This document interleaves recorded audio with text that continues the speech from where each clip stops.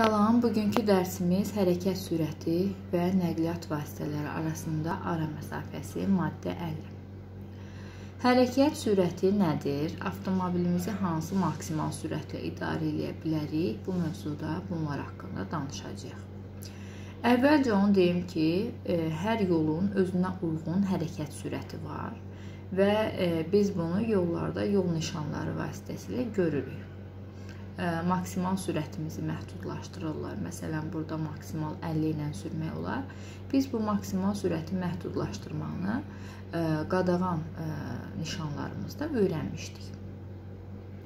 Deməli, baxaq birinci bəndə. Sürücü hərəkətin intensivliyini, nəqliyyat vasitəsinin, yükün xüsusiyyətlərini və vəziyyətini, yol və metroloji şəraiti xüsusən hərəkət istiqamətində görmə şəraitini nəzərə almaqla nəqliyyat vasitəsini müəyyən olunmuş sürət məhdudiyyətindən çox olmayan sürətlə sürməlidir. Deməli, tutaq ki, biz yaşayış məntəqəsindəyik və biz demişdik ki, burada maksimal sürət 60-dır. Birazdan yenə təkrarlayacağıq. Maksimal sürətin 60 olduğu yoldayıq, amma yolumuz o qədər pisdir ki, o qədər daşlı, çınqıllı, natərəz, e, nədir, kələkötür yoldur ki, biz maksimal 60-dan əlbəttə ki, sürə bilmərik. Bu zaman nə edirik? Maksimal 60-dan çox olmayan e, başqa bir sürət seçəcəyik. Tutaq ki, yol şəraitinə uyğun 20 ilə gedəcəyik, 30 ilə gedəcəyik. Yaxud da yol yaxşıdır, amma bizim yükümüz o qədər ağırdır ki, çox sürətlə sürsək yükümüz aşa bilər. Buna görə nə edəcəyik? Yenə bizə icazə verilən maksimal sürətdən çox olmayan, amma yükümüzün də xüsusiyyətini nəzərə alaraq aşağı sürət seçəcəyik. Yaxud yolda e, buz var. Metroloji şərait düzdürmü? Buzlu yoldur. Biz maksimal 60 ilə getsək sürüşərik. Nə edəcəyik? Aşağı sürət seçəcəyik. E, yaxud e, yol dumandır əlbəttə ki 60-la sürə bilmərik, aşağı sürətlə sürəcəyik. Deməli, ə, sürücü öz sürətini seçərkən maksimal sürətdən başqa həm də öz nəqliyyat vasitəsini, yaxud hərəkət intensivliyini, yolda maşın çoxdur, tıxacdır, 60-la necə sürə bilərik ki, düzdürmü? Hərəkət intensivliyini də, nəqliyyat vasitəsinin saz olub olmamasını da, yaxud yükün xüsusiyyətini də, metroloji şəraiti də, görmə şəraitini də nəzərə alıb sonra sürət seçməlidir. Bu çox vaxt mənim başıma gəlibdi. Çox vaxt deyirəm ki, məsələn, taksiyə deyirsən də, deyir, görürəm ki, taksi şoförü çox bərk sürür. Deyirəm ki, ay qardaş, axı belə olmaz. Deyir, 60-dır da maksimal sürət, yaxud 90-dır da, axı 90-dır, yolun şəraiti var. Sən bax gör hansı yolda belə 90-la gedirsən. Deməli, təkcə maksimal sürəti yox, həm də nə etməlisiniz? Bütün bu deyilənləri nəzərə alaraq sürət seçməlisiniz. Sürücü hərəkət üçün təhlükə yarandığını gördükdə nəqliyyat vasitəsinin sürətini tam dayanma həddinə qədər azaltmaq üçün mümkün olan tədbirləri görməlidir. Görürük ki, qabaqda təhlükə var yolumuza hər hansı bir heyvan çıxıb, yaxud qabaqda maşın riski dayandı, yaxud qabağımızda maneə var, hər hansı bir təhlükə var. Təhlükəni görən an sürücü mümkün tədbirləri görməlidir. Avtomobil tam dayanma həddinə gələnə qədər nə etməlidir? Heç nə. Avtomobilinin ə, e, ayağını qazdan götürüb qoymalıdır tormoz pedalına və avtomobili mümkün qədər tez dayandırmalıdır. İndi biz baxaq e, bənd 2-yə. Bənd 2-də nəqliyyat vasitələrinin hansı sürətlə, hansı maksimal sürətlə idarə etmək olar, onu bizə deyir. Baxacağıq indi kitabın e, üz qabının iç səhifəsində olan cədvələ. Gəlin baxaq. Baxın, burada belə bir cədvəl var. Və fikir verirsinizsə, mən bu cədvəldə nəqliyyat vasitələrini qruplaşdırmışam. Bu bizə daha rahat öyrənməyə kömək eləyəcək. Əvvəlcə baxaq bir yazdıqlarıma. Deməli, mini avtomobilləri, bir də icazə verilmiş maksimal kütləsi 3.5 tondan çox olmayan yük avtomobilləri. Deməli, hansı kateqoriya idi bunlar? B kateqoriyası, düzdürmü? Mini avtomobilləri və icazə verilmiş maksimal kütləsi 3.5 tondan çox olmayan yük avtomobilləri, yəni B kateqoriyası birinci qrupa ayırmışam. Baxaq bu birinci qrup harda hansı sürətlə sürə bilər avtomobilini. Baxın Lənkəran ağ fonda içi qara yazılıb. Biz demişdik ki, bu yaşayış məntəqəsini göstərən nişandır. Deməli, bu bir yazdıqlarım, yəni B kateqoriyasına aid olan mini avtomobili və 3.5 tondan çox olmayan yük avtomobilləri yaşayış məntəqəsində maksimal 60 ilə sürə bilərlər. Bu nişan nə idi? Yaşayış zonası nişanı idi. Düzdürmü? Demişdik ki, baxın bina var, avtomobillər dayanır uşaq top oynayır, insanlar gəzişir. Bura yaşayış zonasını göstərir. Yaşayış zonası hara idi? Binaların həyətləri, daha sonra həyətlər, daha sonra biz demişdik, yəni insanların məskunlaşdığı, sıx məskunlaşdığı həyət əraziləri yaşayış zonası sayılırdı. Və yaşayış zonasında bu dediyimiz Hər iki nəqliyyat vasitəsi maksimal 20 ilə avtomobilini idarə edə bilər. Burada Ağdam yazılıb. Göy fonda içi ağ hərflərlə biz demişdik ki, bu yaşayış məntəqəsindən kənar ə, e, nəzərdə tutulur. Testlərdə biz bu nişanı yaşayış məntəqəsindən kənar kimi qiymətləndirəcəyik. Deməli bu Ağdam yaşayış məntəqəsindən kənar yazılan və eyni ilə burada yenə yazıb yaşayış məntəqəsindən kənar olan yollarda bu dediyimiz avtomobillər maksimal 90 ilə sürə bilərlər maşınlarla. Bu nişan nə idi? Ya, e, magistral nişanı idi. Avtomagistralda bu dediklərimiz maksimal 110 ilə sürəti sürə bilərlər. Deməli, 110 km/saatdan çox olmayan sürətlə avtomagistralda B kateqoriyasına aid olan mini avtomobili və 3.5 tondan çox olmayan yük avtomobilləri avtomobillərini idarə edə bilər. Bu nə idi? Digər nişan bu ə, avtomobillər üçün olan yol nişanı idi və burada da 90 ilə avtomobili idarə edə bilərik. Maksimal sürətimiz 90 km/saatdan çox olmamalıdır. Deməli bu oldu bizim birinci qrupumuza aid olanlar. Bir növ B kateqoriyası kimi yadımızda saxlaya bilərik. İndi baxaq 2 yazdıqlarımıza. Burada yazıbdı yedəkdə qoşqa aparan. Siz burada yedəkdənin üstündən xətt çəkin. Yedəkdə sözü sizi çaşdıra bilər. Bir var yedəkdə nəqliyyat vasitəsini nasaz nəqliyyat vasitəsini aparırıq. Bir də var sadəcə arxasında qoşqa aparırıq. Biz bunu belə keçəcəyik. Qoşqa aparan mini avtomobili, bir də yedəkdə nasaz nəqliyyat vasitəsi daşıyan avtomobillər. Qoşqu sadəcə avtomobilin özü üçün nəzərdə tutulmuş qoşqulardır ki, müəyyən həddə qədər daşıya bilərlər. Deməli, qoşqu aparan mini avtomobilləri yedəkdə sözünü sildik. Daha sonra icazə verilmiş maksimal kütləsi 3.5 tondan çox olan yük avtomobilləri və digər avtobuslar. Digər avtobuslar hansıdır? Hansı ki, onlar kiçik və şəhər arası deyil. Yəni böyük avtobuslardır. Digər avtobuslar kiçik deyil və şəhər arası deyil. Yəni bir növ buna aiddir ekskursiya edən avtobuslar, yəni şəhər arası olmasın və kiçik avtobus olmasın.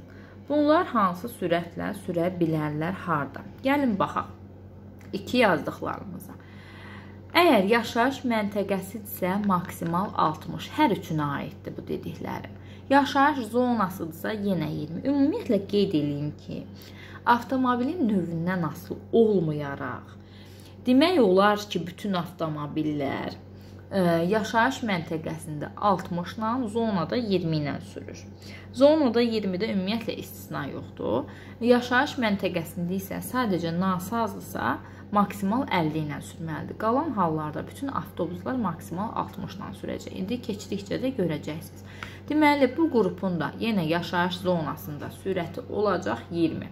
Yaşayış məntəqəsindən kənardırsa, bu avtobuslar artıq maksimal 90 ilə yox, maksimal 70 ilə avtomobillərini idarə etməlidirlər.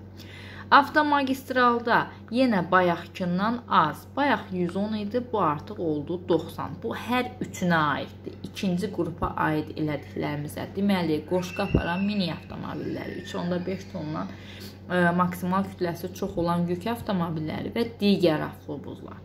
Bunlar deməli olacaq avtomagistralda maksimal sürəti 90 və avtomobil üçün olan yol nişanı qoyulmuş yollarda isə maksimal sürəti olacaq 70.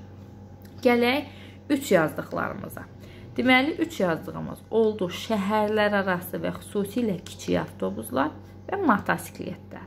Bu iki nəqliyyat vasitələrinin yaşayış məntəqəsində oldu sürəti 60, zonada oldu 20, məntəqədən kənar oldu 90 və avtomagistralda, eləcə də avtomobil üçün e, olan yollarda yenə 90 olacaq maksimal sürətlər. Dördüncü hansıdır? Dördüncü bir, banında adam daşıyan yük avtomobilləridir. Biz məsələn demişdik ki, elə avtomobillər var ki, onların banında adam daşınır. Məsələn, əskər aparan yük avtomobilləri düzdürmü? Əskərləri daşıyırlar orada. Belə avtomobillər və e, deməli dedik ki, yedəkdə mexaniki nəqliyyat vasitəsi aparan avtomobillər nasaz nəqliyyat vasitəsini aparırsa yedəyində bunların olacaq yaşayış məntəqəsində maksimal sürəti 50, yaşayış məntəqəsində maksimal sürət nədir? 60. Amma banında adam daşıyırsa, yaxud yedəkdə mexaniki nəqliyyat vasitəsi, nasaz nəqliyyat vasitəsi aparırsa, Bu zaman maksimal sürəti olmalıdır artıq 50. Deməli, e, bu e, oldu yaşayış məntəqəsində sürət, yaşayış zonasında yenə olacaq maksimal sürət 20. Məntəqədən kənarda oldu maksimal sürət yenə nə? 50. Deməli, əgər vanında sərnişin daşıyırsa yük avtomobili, yaxud yedəyəndə nasaz nəqliyyat vasitəsi aparırsa, bu zaman, yəni buksirdə nəqliyyat vasitəsi aparırsa, bu zaman onun maksimal sürəti nə ola bilər? 50. Fərqi yoxdur artıq yerinin. Bir dənə zonada olacaq 20, məntəqədir, məntəqədən kənardır, maksimal sürət olmalıdır 50. Və biz demişdik ki, əgər maksimal sürət 50-dən çox deyilsə, belə nəqliyyat vasitəsi avtomagistrala və avtomobil üçün olan yollara girə bilməz. Düzdürmü? Bu yollara girə bilmirsə, orada da sürət yazmaq lazım deyil bizə. Deməli, ümumiyyətlə, əgər banında sərnişin daşıyan yük avtomobilidirsə, yaxud yedəyəndə nasaz nəqliyyat vasitəsini aparan bu avtomobildirsə, avtomagistrala və avtomobil üçün olan yol nişanı qoyulmuş yollara girə bilməz. Və nəhayət 5-ci qrup. 5-ci qrupa aid olan təhlükəli, ağır çəkili, iri qabartlı yüklər daşıyan nəqliyyat vasitələri. Bunun qabağına yazılıb ki, daşıma şərtləri razılaşdırılarkən müəyyən edilmiş həddən artıq olmayan sürətlə. Deməli, təhlükəli, ağır çəkili və iri qabartlı yük daşıyan nəqliyyat vasitəsidirsə, e, bunun artıq sürəti dövlət yol polisi tərəfindən daşıma şərtləri razılaşdırılarkən müəyyən edilir və onlar üçün e, tərtib olunmuş sənəddə qeyd olunur və bu sürətdən artıq olmayan istənilən sürətli avtomobillərini idarə edə bilərlər. İndi gəlin bu dediklərimizə aid testlərə baxaq. Soruşur ki, siz mini avtomobilindəsiniz və 90 km/saat sürətlə hərəkət etdiyiniz yolda hansı nişan və ya qurğunun aid olduğu sahəyə daxil daxil olduqdan, ya yaxud döndükdən sonra hərəkət sürətini azaltmaya bilərsiniz. Yəni qısacası hansı nişanda maksimal sürətiniz 90 ola bilər? Birinci, deməli, yaşayış məntəqəsindən e, kənardır, düzdürmü? Yaşayış məntəqəsindən kənarı göstərir birinci. E, deməli, eyni ilə də 5-ci nişanda məntəqədən kənarı göstərir. Baxmayaraq, biri göydür, biri ağdır, hər ikisi məntəqədən kənarı göstərir. İkinci yaşayış məntəqəsini göstərir, üçüncü yaşayış zonasını göstərir. İkinci nişanda deməli maksimal sürətimiz olmalıdır 60, zonadırsa maksimal sürətimiz olmalıdır 20. Dördüncü məntəqədən kənardır, maksimal sürətimiz olacaq hansı? Ə, deməli 90. hansında 90 ilə sürə bildik? 2 və 3-cüdən başqa. 2 3-cüdən başqa 1 e, deməli 4 və 5-ci cavab olacaq 3. Eyni ilə də test 2-ni işləyə bilərsiniz. Test 3 Bu nişanlar qoyulan yolda icazə verilən maksimal ə, e, maksimum kütləsi 3.5 tondan artıq olan yük avtomobilinin maksimal sürəti nə qədər olmalıdır? Bu nişanlar nə idi? Bu nişanlar deməli göstərirdi bizə avtomagistralın olduğunu. Düzdürmü? Bu nişanlar qurulurdu avtomagistralda. Avtomagistralda maksimal kütləsi 3.5 tondan artıq olan yük avtomobilinin sürəti nə qədər olur? Baxırıq indi kitabın öz qabığındakı bu cədvələ. İcazə verilmiş maksimal kütləsi 3.5 tondan çox olan e, yük avtomobilinin avtomagistralda sürəti olacaq nə qədər? 90. Cavab olacaq 90. Deməli, cavab olacaq 2. Test 4. Hansı nişan nəqliyyat vasitələrinin hərəkət sürətini ölçmək məqsədi ilə qarşıda quraşdırılmış mobil radarın mövcudluğu barədə məlumat verir? Deməli, biz bunu keçmişdik. 1i informasiya radarı Bu göstərir ki, e, qabaqda radar var və radarın olduğu barədə bizə informasiya verir. Bir də biz demişdik ki, maksimal sürət məhdudlaşdırılırsa, Bu artıq bizə qabaqda radarın olması barədə məlumat verir. Deməli, birinci və dördüncü nişanlar.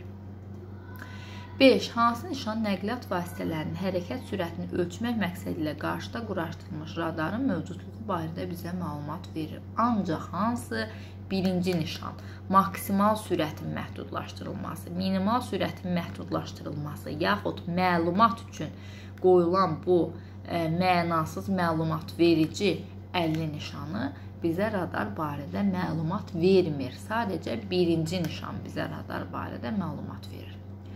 Test 6. Yaşayış məntəqələrində hansı hallarda saatda 60 km-dən artıq sürətlə hərəkət etməyə icazə verilir? Əgər e, məntəqə olsa belə bizə saatda 60-dan artıq sürətlə sürməyə icazə verilən nişan qoyubdusa, bu zaman məntəqə olsa belə 60-dan yuxarı sürməyə icazəmiz var. Cavab olacaq 2. Test 7. Nəqliyyat vasitəsini həddindən az sürətlə idarə etməyə icazə verilirmi? Deməli, e, nəqliyyat vasitəmizi biz həddindən artıq az sürətlə idarə eləyə bilərik. Bəli. Amma bu vaxt bizim bu cür sürməyimiz başqa nəqliyyat vasitələri üçün maneə yaratmamalıdır. Cavab olacaq 2. Test 8. Nəqliyyat vasitələrinin sıx axınında hərəkət etdiyiniz zaman sürəti nəyə əsasən seçməlisiniz? Tutaq ki, tıxacdayıq və biz bu zaman sürətimizi nəyə uyğun seçəcəyik? Əlbəttə ki, hərəkətin intensivliyinə uyğun. Düzdürmü? Baxacağıq qabaqdakı necə getdi, necə getsək ona dəyməyəcəyik. Avtomobillərimiz çırpılmayacaq bir-birinə. Bu zaman hərəkətin intensivliyinə uyğun sürətlə hərəkət edəcəyik. Test 9. Qaranlıq vaxtı biz bu zaman sürəti nəyə əsasən seçməliyik? Nəyə əsasən seçməliyik? Əlbəttə ki, görmə şəraitimizə uyğun sürət seçməliyik. Baxmayaraq ki, yolda tutaq ki, maksimal sürət 90-dır. Biz yaxşı görmürüksə 90 ilə sürməyəcəyik. Aşağı sürətlə sürəcəyik. 40 ilə get, 50 ilə get. Avtomobilin maksimal sürətinə uyğun yox. Avtomobilimin maksimal sürəti bəlkə 220-dir. Mən nəyə uyğun seçəcəm? Görmə şəraitinə uyğun. Test 10. Hansı halda sərt tormozlamadan istifadə etmək olar? Ümumiyyətlə sərt tormozlamadan istifadə etmək mümkün qədər ə, azaldılmalıdır. Niyə? Çünki sərt tormozlama zamanı xəta baş verə bilər. E, içəridəkilər də narahat olur, avtomobil özü də e, şofer özü də deməli idarə etməni itirə bilər. Ona görə sərt tormozlamadan istifadə etməyi mümkün qədər azaltmaq lazımdır. Ancaq və ancaq yol nəqliyyat hadisəsinin qarşısını almaq üçün bundan istifadə etmək olar. Hətta biz svetoforu keçəndə demişdik ki, svetoforun e, anidən qırmızı işığı yanırsa, bu zaman sərt tormozlama eləyə, eləyəcəksə əgər avtomobillə ötüb keçmək lazımdır. Sərt tormozlama etməmək lazımdır. Cavab olacaq 2. Yol nəqliyyat hadisəsinin qarşısını almaq üçün sərt tormozlamadan istifadə etmək olar. Test 11. Sürücü 90 km/saat sürətlə hərəkət edən zamanda hansı ara məsafəsi seçməlidir? Belə ara məsafəsi yoxdur ki, avtomobillə avtomobil arasında məsələn maksimal ə, e, ara məsafəsi 30 olsun, 20 olsun, 10 olsun və s. düzdür. Belə bir nişanımız var idi, amma o hər yola aid deyil. O nişan harda qoyulubdursa, həmin yollara aiddir. Normalda ara məsafəsi necə seçilməlidir? Sürücü öz sürətini nəzərə almalıdır, hərəkət şəraitini nəzərə almalıdır və elə ara məsafəsi seçməlidir ki, qabaqda gedən nəqliyyat vasitəsi sürətini kəskin azaldanda, yaxud gözlənilmədən dayandıqda ə, e, avtomobilimiz onun avtomobili toqquşmasın. Cavab olacaq 4. Test 12.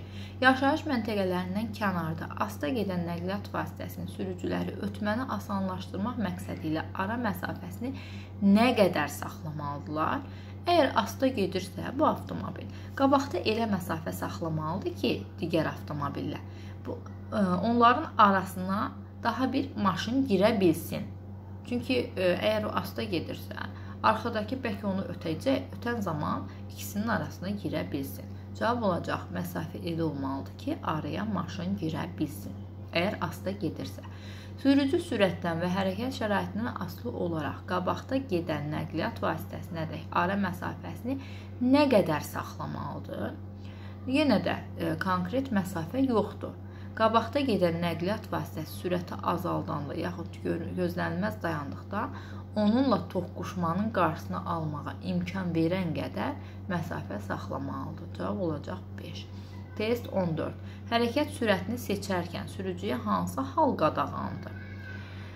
Deməli, lüzumsuz olaraq həddən az sürətlə hərəkət etməklə başqa nəqliyyat vasitələri üçün maneə yaratmaq, bəli, maneə yaradırsa, bu qadağandır.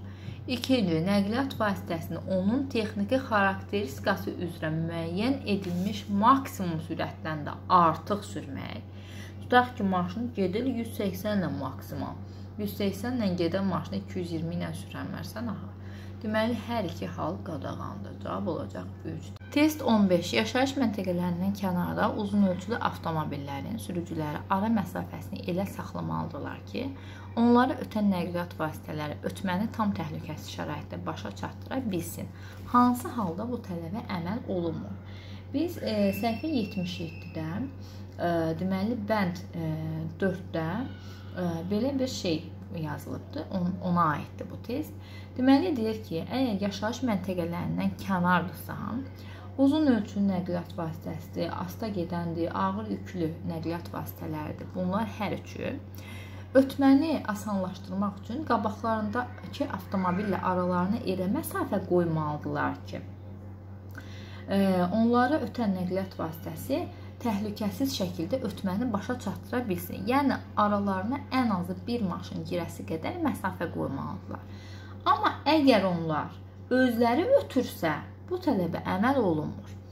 Test 15-də də e, həmin qaydaya aid olan test verilib bizə. Deyir ki, nə vaxt bu tələbə əməl olunmur. Yəni nə vaxt qabaqdakı avtomobillə aralarında bir avtomobil girəsi qədər məsafə saxlamağa borclu deyillər. Nə vaxt ki, onlar özləri də ötmə əməliyyatını icra edirlər. Cavab olacaq test 15-də 2. Test 16. Sürücü avtomobilin hərəkət sürətini seçərkən aşağıdakı hansı halda ə, hallardan hansının qadağan olunduğunu nəzərə almalıdır. Deməli, əgər biz hərəkət sürəti seçiriksə, baxaq görək hansı bizə qadağandır. Yolda digər nəqliyyat vasitələrinin olmadığı halda təyin olunmuş maksimal həddən 10-15 km artıq sürətlə hərəkət etmək xeyir olmaz. Maksimal sürət 60-dsa maksimal 60-dan, 90-dsa 90-dan sürmək olar. 60 olan yerdə 70-75, yaxud 90 olan yerdə 100-105 sürmək olmaz. 2. Lüzumsuz olaraq həddən az sürətlə hərəkət etməklə başqa nəqliyyat vasitələri üçün maneə yaratmaq, bəli, bu da olmaz. 3-cü yol nəqliyyat hadisələrinin qarşısını almaq halları istisna olmaqla digər hallarda sərt tormozlamaq qadağandır. avtomobili onun texniki xarakteristikası üzrə müəyyən edilmiş maksimal sürətdən artıq sürmək qadağandır. Deməli, cavablarda sadallanan hər biri qadağandır. 17. Əgər siz yük avtomobilində təhlükəli yük daşıyırsınızsa, yaşayış məntəqələrindən kənarda olan yollarda hansı maksimal sürətlə hərəkət edə bilərsiniz? Təhlükəli yük daşıyırıq. Demişdik ki, təhlükəlidir, ağır çəkilidir, iri qabaritlidirsə, bunların sürəti ə, deməli nə ilə müəyyən ediləcək? Daşıma şərtləri razılaşdırılarkən dövlət yol polisi tərəfindən müəyyən ediləcək və bu həddən çox olmayan sürətlə sürməlidirlər. Cavab olacaq 3. 18. Ə, deməli, hərəkətdə olan avtomobilin sürücüsü sürəti seçərkən aşağıdakı hallardan hansının qadağan olunmadığını nəzərə almalıdır. Bunu özünüz işləyərsiniz. Bayaq dedik buna uyğun bir testi. Test 19. Baxaq. Mini avtomobilidir. Sürdüyümüz avtomobil və ə, e, hərəkəti davam etdirərkən bu avtomobildə sadalanan hansı variantda bütün şəkillərdəki yollarda mini avtomobilinin düzgün maksimum sürəti göstərilmişdir. Birinci baxaq. Bu hansı yoldur, bu hansı yoldur və bu hansı yoldur? Bu yaşayış məntəqəsindən kənar yoldur. Düzdürmü? İndi deyəcəksiniz, hardan bildiniz? Baxın, burada bina yoxdur, yaşayış evləri yoxdur. E, yəni yaşayış məntəqəsi deyil bura. Məntəqədən kənardır. Məntəqədən kənarda e, mini avtomobilin maksimal sürəti olmalı idi 90. Avtomobil üçün olan yol nişanı qurulmuş yollarda olacaq 90, avtomagistralda 110. Deməli, A-da 90, B-də 90, C-də 110. Hardadırsa cavab, deməli o cavab doğrudur. Test 20 e, deməli deyir 3.5 tondan artıq olmayan yük avtomobildir. Yenə də nədir? B kateqoriyasıdır. Məntəqədən kənarda 90, avtomagistral üçün e, olan yollarda 110, avtomobil üçün olan yollarda 90. 90, 90, 110 cavab hardadırsa düzgün cavab odur. TS 21 3.5 tondan artıq olan yük avtomobildir artıq. Bizim ikinci qrupumuz idi, düzdürmü? Deməli, bunlar olacaq ə, e, məntəqədən kənarda 70 məntəqədən kənarda 70, ə, e, avtomobil üçün olan yollarda 70, avtomagistralda 90. Əzbərləmək lazımdır bunları. TS 22 qoşqa aparan mini avtomobilləri. Bu da bizim ikinci qrupumuz idi, düzdürmü? 70, 70, 90. Məntəqədən kənarda 70, avtomobil üçün olan yollarda 70, ə, e, avtomagistralda 90 və yedəkdə nasaz nəqliyyat vasitəsi daşıyırsa, dedik ki, yedəkdə nasaz daşıyırsa, yaxud yük avtomobili banında sərnişin daşıyırsa, bunların maksimal sürəti 50-dir. Burada 50 və demişdik ki, ə, avtomobil üçün olan yol nişanı qoyulmuş yollara və avtomagistralada maksimal 50 sürəti olan nəqliyyat vasitələri girə bilməz. B və C-də giriş qadağandır, digərində isə 50 ilə sürə bilər. TS24 icazə verilmiş maksimal kütləsi 3.5 tondan artıq olan yük avtomobili bord platformasına sərnişin daşıyır. Burada maksimal kütlə 3.5 olması sizi çaşdırmasın. Baxın görək yük avtomobili nə daşıyır? Sərnişin daşıyır. Sərnişin daşıyırsa maksimal sürəti 50-dir və bu iki nişanın təsir sahəsində olan yollara da girə bilməz. TS 25 yenə həmin testlərdir. Cədvələ uyğun tapırsınız, hansı cədvəldə hansı sürətlə idarə etmək olar. Bu testləri özünüz işləyərsiniz. Test 31-ə baxaq. Yaşayış zonasında hansı maksimal sürətlə hərəkət etməyə icazə verilir? Zonadsa istisnasız olaraq hamısı maksimal 20 sürətlə sürməlidir. Bundan çox sürmək olmaz.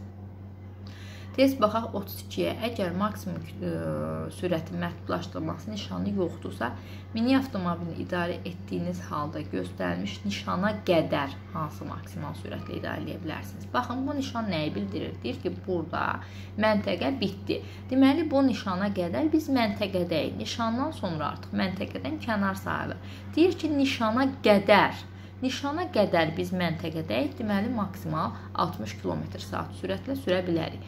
Bu testi tərsinə də eləyə bilərdilər. Deyərlər ki, bu nişandan sonra neçə sürətlə gedə bilərik? Bu nişandan sonra artıq maksimal 90-la sürət e, sürət seçə bilərik özümüzə. Test 33. İcazə verilən maksimum kütlənin 3.5 tondan artıq olmayan yük avtomobilinin sürücüsü bu yolda saatda maksimal neçə kilometr sürətlə hərəkət edə bilər? Bu yol hansı yoldur? Hal-hazırda bizə avtomagistral olub olmamağı bilinmir. Düzdürmü? Nişan yoxdur. Nişan yoxsa deməli məntəqədən kənar sayılır. Məntəqədən kənarda 3.5 tondan artıq olmayan kütləsi olan yük avtomobili B kateqoriyasına aiddir və maksimal 90 ilə sürə bilər. Artıq bu dəfə test 34-də avtomagistral nişanı qoyulub. Avtomagistral nişanı qoyulubsa 3.5 tondan artıq olmayan yük avtomobili burada maksimal 110 ilə hərəkət edə bilər. Test 35. Göstərilən bu yolda mini avtomobilin sürücüsü saatda maksimal neçə sürətlə hərəkət edə bilər? Baxın, arxasında nə aparır? Qoşqa aparır. Qoşqa aparanlar bizim ikinci qrupumuza aid idi, düzdürmü? Bu yolda harada? Məntəqədən kənardır. Bina yoxdur, yaşayış evləri yoxdur, müəssisə yoxdur. Deməli, məntəqədən kənardır. Məntəqədən kənarda qoşqa aparan avtomobillər ə, nə etməlidirlər? Maksimal 70 ilə avtomobillərini idarə edə bilərlər. Artıq avtomagistraldır. Avtomagistralda qoşqa aparılırsa, maksimal sürət olacaq 90. Bu testlərə özünüz baxın. Test 37. Baxaq, göstərilən şəraitdə nasaz nəqliyyat vasitəsini daşıyan bu mikroavtobusun sürücüsü hansı sürətlə hərəkət etməlidir? Baxır, baxırıq yenə ki, məntəqədən kənardır və bu dəfə nasaz aparır nasaz aparırsa, biz dedik ki, ümumiyyətlə bu maksimal sürət 50-ni keçə bilməz. 50 km/saatdan artıq olmayan sürətlə getməlidir. 38. İcazə verilən maksimum kütləsi 3.5 tondan artıq olmayan yük avtomobilində hansı maksimal sürətlə hərəkət edə bilərsiniz? Baxın, məntəqədir. Məntəqədə maksimal sürət 60-dır. Nə olsun ki, bizə deyir ki, maksimal 80 ilə sürə bilərsən maksimal 80 ilə sürməyə icazə verilirsə, biz maksimal 80 ilə sürə bilərik. Cavab olacaq 3. 60 yox, cavab olacaq 80. Test 39. Bu dəfə bizim maksimal sürətimizi məhdudlaşdıran başqa nişan varmı? Yox. Baxırıq ki, hansı yoldur?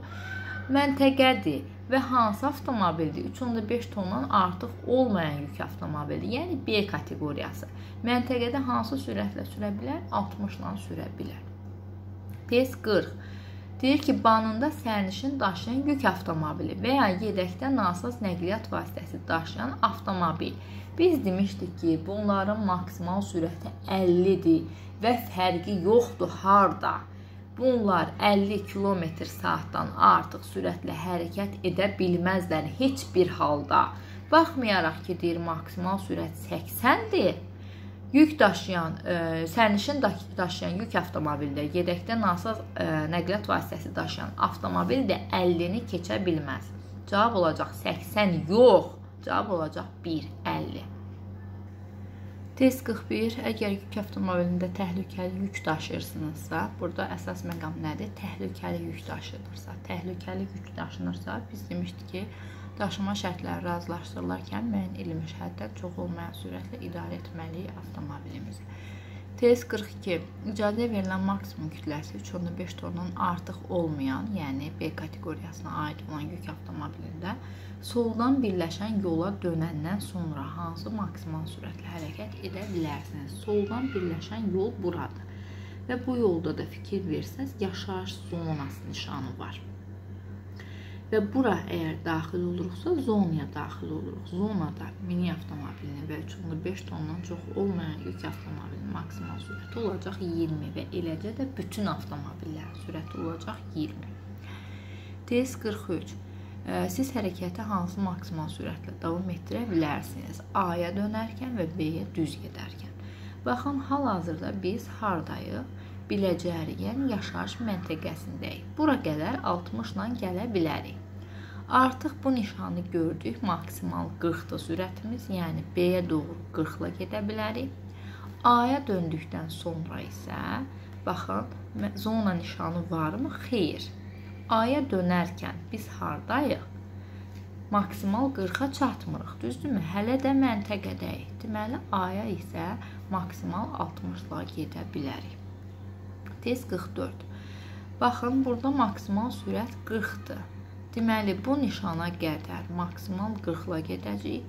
Liman məntəqədir. Məntəqədən sonra maksimal sürətimiz olacaq 60.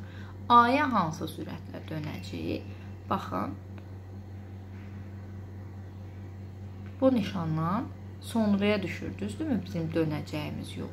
Nişandan sonra yenə maksimal sürətimiz olacaq ə, nə 60. Deməli, hər iki istiqamətlə 60-la gedə bilərik.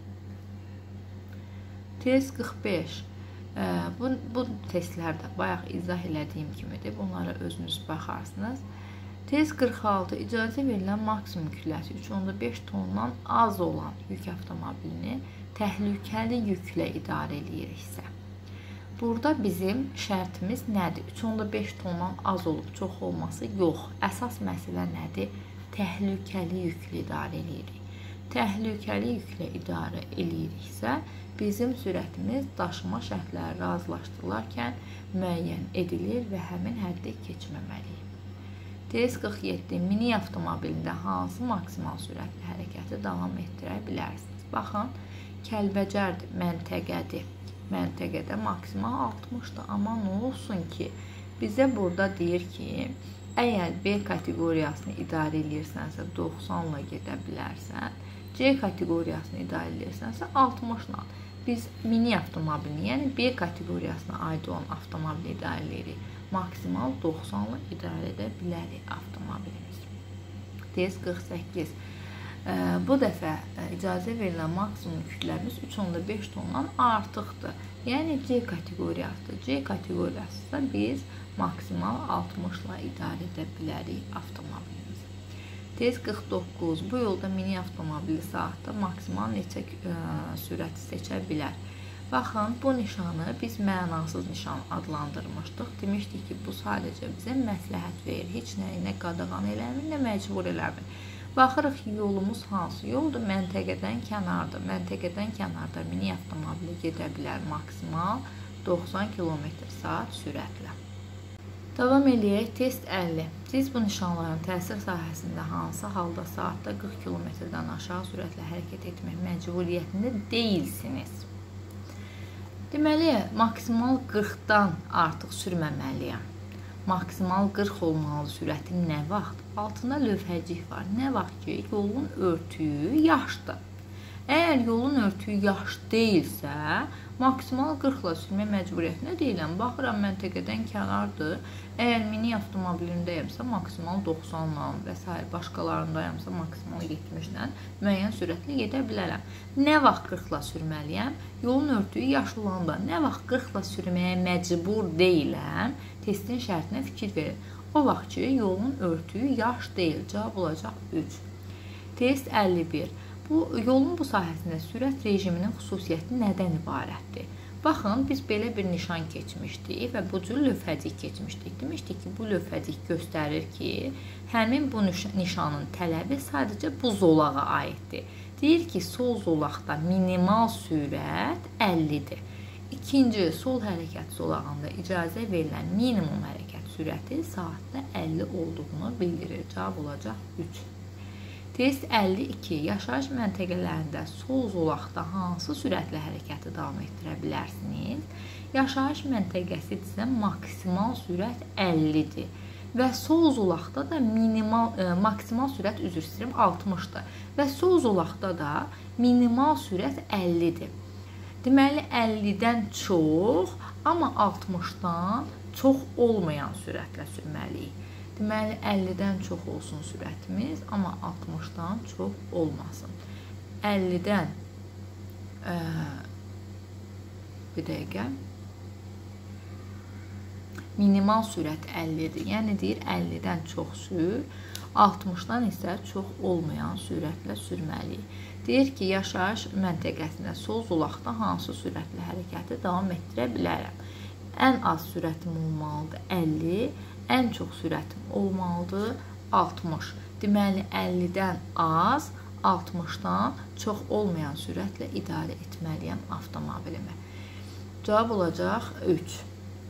Test 53. Yaşayış məntəqəsində sağ zolaqda hansı ə, sürətlə hərəkət edə bilərəm?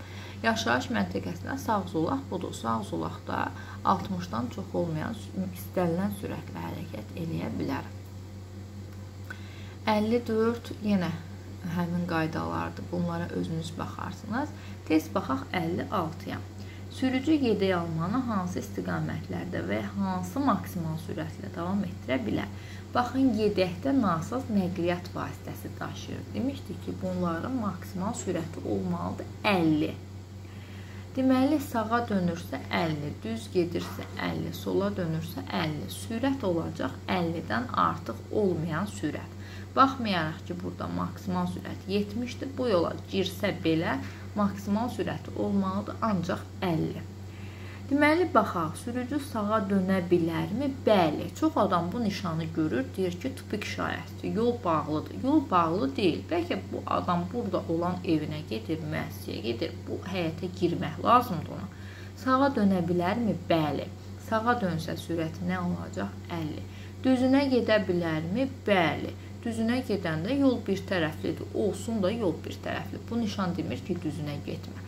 Düzünə gedə bilərmi? Bəli. Maksimal sürəti nə olacaq? Baxmayaraq ki, burada 70-dir, maksimal sürəti yenə olacaq 50. Sola gedə bilərmi?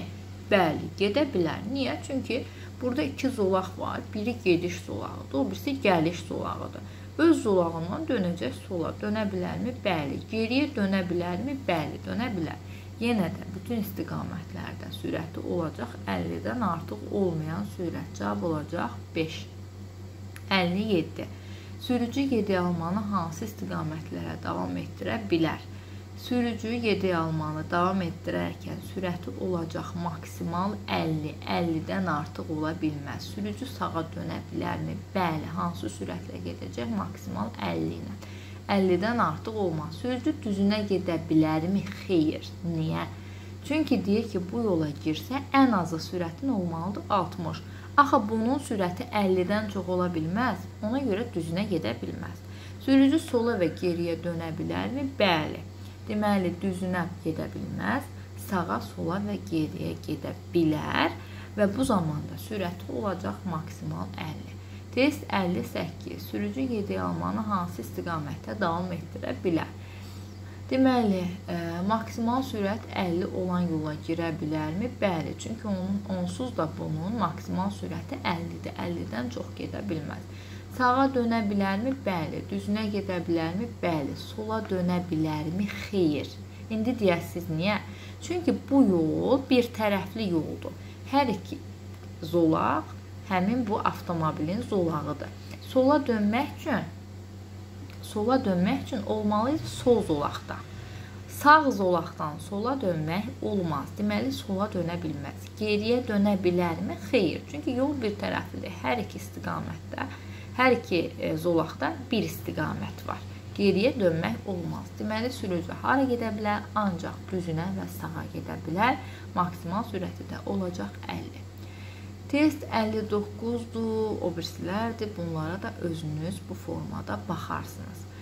Test 60-a baxaq. İcazə verilən maksimum kütləsi 3.5 ton olan, tondan artıq deyil, 3.5 tondur. Yəni B kateqoriyasıdır. Bu yük avtomobilinin sürücüsü hərəkəti hansı maksimal sürətlə davam etdirə bilər? B kateqoriyasına aiddir. Baxaq görək hansı sürətlə davam etdirə bilər hərəkətini. Baxın, burada nişan qoyulubdur maksimal 30. Amma bu nişandan sonra bizim bir dənə də nişanımız var ki, istisudu məntəqədir. Yol nişanı, e, yol hərəkət işləri gedir bu yolda. Ona görə burada qoyulmuşlar nişanı 30. Yol işləri getdiyinə görə Artıq burdan yol bərpa olunub. Bu nişanı qoyubdular. Deməli hansı sürətlə gedə bilərik? Maksimal 60-la gedə bilərik. İndi deyəsiz ki, bəs nə bilək ki, maksimal 60-dır. Bəlkə yol təmir olunmayıb elə 30-dur. Xeyr. Əgər yol 30-luq olsaydı, bu nişandan sonra dərhal yenə bu 30-u qoyardılar ki, bu nişan sizi çaşdırmasın. Yenə də maksimal hansı sürətlə gedin? 30-la gedin. Deməli cavab olacaq 2.60-la gedə bilərik. Test 61. Əgər şəhərlərarası sayılmayan ə, reys avtobusu bu yolda onun üçün təyin olunmuş maksimal sürətlə hərəkət edirsə, mini avtomobilin sürücüsünə onu ötməyə icazə verilirmi? Baxırıq hansı yoldur məntəqədən kənardır və şəhərlər arası sayılmayan, yəni ki, digər avtobuslar qrupuna aid olan avtobusdur bu qabaqda olan avtobus. Digər avtobuslar qrupu məntəqədən kənar olan yollardan maksimal 70 ilə gedə bilər. Bu avtomobilin hal-hazırda maksimal sürəti 70-dir və qoşqu aparan mini avtomobili Qoşqu aparan mini avtomobilin maksimal sürəti məntəqədən kənarda nə ola bilər? Maksimal sürəti ola bilər. Onların da nə qədər? Yenə 70. Bu zaman deyir ki, Əgər şəhərlərarası sayılmayan reys avtomobili bu yolda onun üçün təyin olunmuş maksimal sürətlə hərəkət edirsə, yəni 70 ilə gedirsə, bu mini avtomobili onu ötə bilər? Xeyr. Çünki onu ötmək üçün bu 70-dən artıq sürətlə getməlidir. Və baxırıq ki, qoşqa aparır. Qoşqa aparırsa bunun elə öz sürəti də burada 70-dir. Ona görə də qabaqdakı bu avtobusu ötə bilməz. Cavab olacaq icazə verilmir. 62. Şəhərlərarası sayılmayan reys avtobusu bu yolda onun üçün təyin olunmuş maksimal sürətlə gedirsə, yenə digər avtobusdur və baxırıq Şamaxı məntəqədən kənardır. Bu avtomobil hansı sürətlə gedir deməli? Cədvəli əzbərləmişiksə, bilməliyik ki, digər avtobuslar qrupuna daxil olan avtobuslar məntəqədən kənarda maksimal 70 ilə sürə bilər. Və bu arxadakı e, avtomobilimiz də 3.5 tondan artıq olan yük avtomobilidir. Baxırıq ki, məntəqədən kənarda yenə cədvəli əzbərləmişiksə, bilməliyik ki, 3.5 tondan çox olan yük avtomobilləri məntəqədən kənarda maksimal 70 ilə gedə bilər. Yenə qabaqdakı avtobusu ötə bilərmi? Xeyr, ötə bilməz. Ötməsi üçün 70-dən çox sürməlidir. O isə 70-dən çox sürə bilməz. Cavab olacaq yenə icazə verilmir. Test 63. Yenə ə, e, şəhərlərarası sayılmayan digər avtobuslardır. Məntəqədən kənarda maksimal sürəti 70-dir, 70 ilə gedir və arxadakı avtomobil bu zaman 3.5 ton olan maksimal kütləsi, yəni B kateqoriyasına aid olan yük avtomobilidir. B kateqoriyasına aid olan yük avtomobilinin məntəqədən kənarda sürəti 90-dır. 70 ilə gedən bu avtobusu ötə bilərmi? Bəli. Sürətini 90-a qədər artırar, ötər, keçər. İcazə verilirmi? Bəli, icazə verilir. Deməli, cavab olacaq 4. Test 64. Deməli, e, deyir ki, əgər şəhərlərarası sayılmayan rels avtobusu bu yolda onun üçün təyin olunmuş maksimal sürətlə hərəkət edirsə, Baxırıq ki, məntəqədir. Məntəqədə avtobusun maksimal sürəti nə qədərdir? 60-dır. Biz dedik axı, əgər nasaz nəqliyyat vasitəsi daşımırsa, yaxud banında adam daşıyan yük avtomobili deyilsə, qalan nəqliyyat vasitələrinin məntəqədə maksimal sürəti 60-dır. 60 ilə gedən bu nəqliyyat vasitəsini arxada gedən bu mini avtomobili hansı halda ötə bilər? Mini avtomobilində maksimal sürəti 60-dır, onun da 60-dır. Bu zaman ötə bilərmi? Xeyr, ötə bilməz. Çünki ötməsi üçün sürətini 60-dan artırmalıdır, 70 eləməlidir, 80 eləməlidir və bu yolda da mini avtomobili 70 ilə 80 ilə gedə bilməz. Cavab olacaq heç bir halda icazə verilmir. Test 65. Əgər şəhərlərarası sayılmayan rels avtobusu bu yolda onun üçün təyin olunmuş maksimal sürətlə hərəkət edirsə, hansı yoldur məntəqədən kənar? Məntəqədən kənarda digər avtobuslar maksimal 70 ilə gedir. Amma mini avtomobili məntəqədən kənarda 90 ilə gedir. Bu zaman ötə bilərmi? Bəli, ötə bilər. Maksimal sürətini 90-a qədər artırar, ötüb keçər. 66 e, avtobus və icazə verilən maksimum kütləsi 3.5 tondan çox olan yük avtomobili 60 km/saat sürətlə, moped 45, pikap 110 sürətlə hərəkət edirsə, bu şəraitdə kim yol hərəkəti qaydalarını pozur? Baxırıq ki, hansı yoldur? Avtomobillər üçün yol nişanı qoyulmuş yoldur və bu nişan qoyulmuş yola sürəti 50-dən aşağı olan nəqliyyat vasitəsi girə bilməz. Mopedin sürəti 45-dir. Deməli bu yola girməklə qaydanı hələ ki o pozdu. Daha sonra baxırıq bu yük avtomobilinə. Bu yük avtomobildə qaydanı pozur. İndi deyəcəksiniz ki, niyə 60-la gedir də? Nə olsun ki, bizim belə bir qaydamız var idi. Əgər avtomagistralda avtomobil üçün olan yoldursa, bu zaman 3.5 tondan çox olan yük avtomobili ancaq birinci və ikinci zolaqlarla hərəkət edə bilər. Üçüncü zolağa çıxa bilməz. Ona görə bu avtobus e, bu yük avtomobildə qaydanı pozdu. İndi gələk pikaba və e, avtobusa. Avtobus e, deməli gedir hansı sürətlə 60-la qaydanı pozmur. Pikap da yenə 60-la gedir, qaydanı pozmur. Ə, cavab olacaq deməli yük avtomobili və mopedin sürücüləri qaydanı pozdu. Test 67-yə özünüz baxarsınız. Elə ona oxşar bir testdir. Test 68 yenə onun kimidir və 69-da. Bunlara özünüz baxarsınız. İndi gəlin dərsə qaldığımız yerdən baxaq. Düzdür, mən e, qaydaları testlər üzərində izah elədim, amma yenə qayda kimi də oxuyaq ki, sizə e, tam aydın olsun və dərsdə hansı qayda harda yazılıb biləsiniz. Deməli, biz səhifə 77-də birinci, ikinci bəndləri öyrəndik tam olaraq. Üçüncü bənddə nə yazıb? Sürücü sürətdən və hərəkət şəraitindən asılı olaraq elə ara məsafəsi seçməlidir ki, eyni zolaqda özündən qabaqda gedən nəqliyyat vasitəsi kəskin sürətini azaldanda və ya gözlənilmədən dayandıqda onunla toqquşmanın qarşısını almaq mümkün olsun. Bayaq dedik, ara məsafəsi necə seçilməlidir? Elə seçilməlidir ki, qarşıdakı risk tormoz verəndə avtomobillər bir-birinə çırpılmasın. Dördüncü, yaşayış məntəqələrindən kənarda ötməni asanlaşdırmaq məqsədi ilə asta gedən ağır yüklü və ya uzun nəqliyyat vasitəsinin sürücüləri eyni zolaqda özlərindən qabaqda gedən nəqliyyat vasitəsi ilə kifayət qədər ara məsafəsi saxlamalıdırlar ki, onları ötən nəqliyyat vasitəsi e, nəqliyyat vasitəsi ötməni tam təhlükəsiz şəraitdə başa çatdıra bilsin.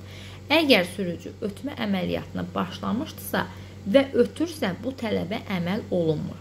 Deməli, biz dedik ki, əgər ə, e, asta gedirsə, ağır yüklüdürsə və ya ə, e, iri həcmlidirsə, bu zaman uzun ölçülüdürsə, bu zaman elə məsafə saxlamalıdır ki, qabaqda gedənlə onun arasına heç olmasa bir avtomobil sığsın. Və əgər sürücü ötmə əməliyyatına başlayıbdısa və ya ötürsə, artıq bu tələbə əməl olunmur. 5-ci üstün hərəkət rejimli nəqliyyat vasitəsi zərurətdən irəli gələn sürətlə hərəkət edə bilər. Üstün hərəkət rejimli ə, nəqliyyat vasitələri hansıları idi? Operativ nəqliyyat vasitələri idi, düzdürmü? Onlar maksimal sürətdən yox, zərurətdən irəli gələn sürət seçə bilərlər. Tutaq ki, məntəqədə 60-dır maksimal sürət, amma zərurətdən irəli gəlir ki, 90-la sürsünlər. 90-la sürə bilərlər. Amma bunu edərkən belə göstərilən nəqliyyat vasitəsinin sürücüləri yol nəqliyyat hadisələrinin qarşısını almaq üçün hər cür tədbir görməlidirlər. 90 ilə gedirəmsə, o demək deyil ki, qabağımdan kimsə gəlirsə ona yol verməyim, basım keçim gedim. 6-cı.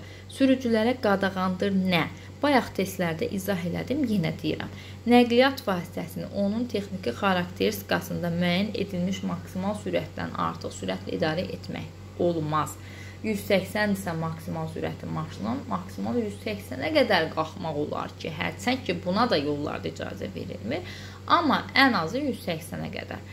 180-dən artıq maşını məcbur eləmək olmaz ki, sürülsün. İkinci, lüzumsuz olaraq həddindən az sürətlə hərəkət eləyib digər nəqliyyat vasitələrinə maneə yaratmaq olmaz.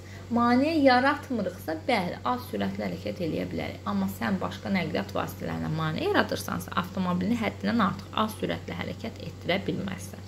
Və üçüncü, yol nəqliyyat hadisəsinin qarşısını almaq üçün lazım olan hallar istisna olmaqla Digər hallarda sərt tormozlamadan istifadə etmək qadağandır.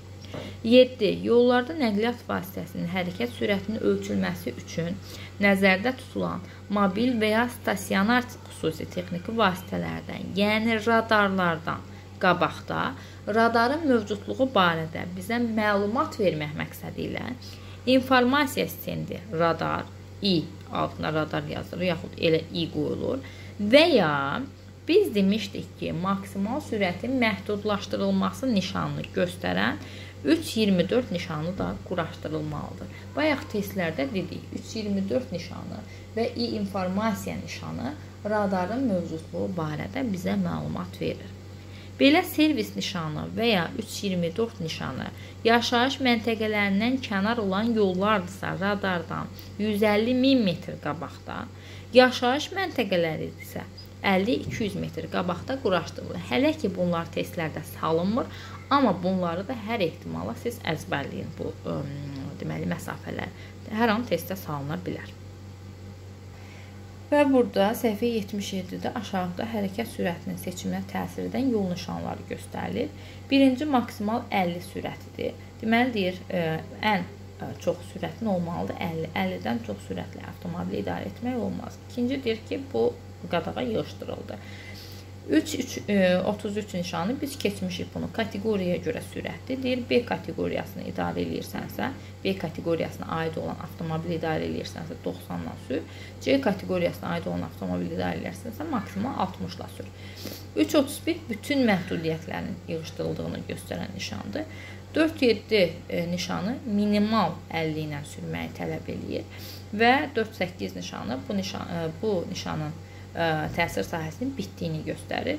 5-18 nişanı deyir ki, sürət seçiminə təsir edən yol nişanıdır. Xeyr, bunun üstündən xətt çəkirik və deyir ki, bu mənasız nişandır, heç nəyə də təsir eləmir. Şamaxı və Şamaxı üstündən qırmızı xətt. Məntəqədə maksimal sürət 60-dır. Şamaxı üstündən xətt 60 ə, maksimal 60-la sürmə qadağası yığışdırıldı. Artıq məntəqədən kənar maksimal 90 sürətlə sürə bilərik. Avtomagistral maksimal sürət 110 mini avtomobil üçün olan yolları deyirəm mən. Ə, əlbəttə ki, cədvəldə var digər avtomobillər üçün necədir? Ə, bu avtomobilin bitdiyini göstərir. Ə, avtomobillər üçün olan yol nişanı onun bitdiyini göstərir və əsas burada maraqlı nişanlar bunlardır. Zona maksimal 30. Biz dedik ki, yaşayış zonasında maksimal sürət 20-dir. Amma bəzi hissələr var ki, orada zona və 30 qoyulur. Bu o deməkdir ki, burada artıq maksimal sürətimiz 20 yox, 30 olacaq. Bu yaşayış zonasını bildirir. Maksimal sürət 20 və bu da zonanın bitdiyini göstərən nişandır. Dərsimiz bu qədər. 69 dənə testimiz var. Ümid edirəm ki, izah elədiyim hər şeyi başa düşdünüz. 69 testi ev tapşırığı olaraq işləmək verilir sizə.